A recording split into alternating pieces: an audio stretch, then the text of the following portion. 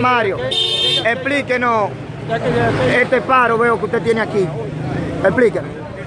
Bien, nosotros hemos estado en el día de hoy eh, haciendo un paro sorpresa para hacer el llamado a las demás autoridades tanto al fiscal titular Francisco Núñez como al general de IPES, máxima seguridad de la ciudadanía, para que intervengan ante los atropellos que tiene el Ayuntamiento de Santiago en contra de los hombres de trabajo.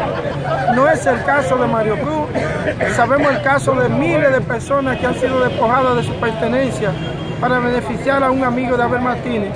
En el caso nuestro, es para beneficiar a Carlos Domínguez, quien es el dueño de las grúas que cobra los 3 mil y 10 mil pesos por cada chofer que ellos detienen ilegalmente. Que me muestre Abel Martínez, que me muestre el director Sosa, don, qué artículo de la, de la ley municipal le autoriza a que ellos puedan detener un vehículo que no esté cometiendo ningún tipo de acto en el obstaculizamiento del tránsito que me mienten esa ley, a dónde le da la facultad para que en ese caso cobrarle 10 mil pesos a un chofer solamente para beneficiar a un amigo. De este caso, en el día de ayer, eh, un personal del ayuntamiento golpeó a unos choferes, a otros le hicieron disparos que, lleno de pasajeros, cortándole la goma, solamente para quitarle esa unidad. Uno fue perseguido hasta la fiscalía de la base, luego que estaciona la unidad allí para protegerse ante la policía y a poner la denuncia del atropello, pues después fueron con una grúa y desde allí se llevaron esa unidad.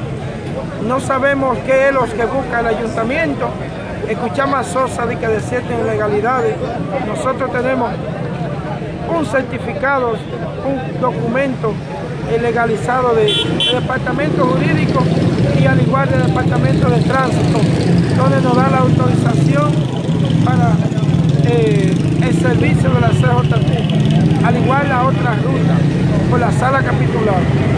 Y también tenemos eh, una sentencia de una Cámara Civil que en ese entonces, tanto el ITRAN como el sindicato de Tamoy hizo oposición. El regreso de Abel Martínez ya la Junta CJT, CJ27 estaba aquí, por lo que no sabemos cuál es la razón que tenga que haber esa persecución en contra de y en contra de los choferes solamente para beneficiar a Carlos Domínguez. ¿De cuándo hay paro?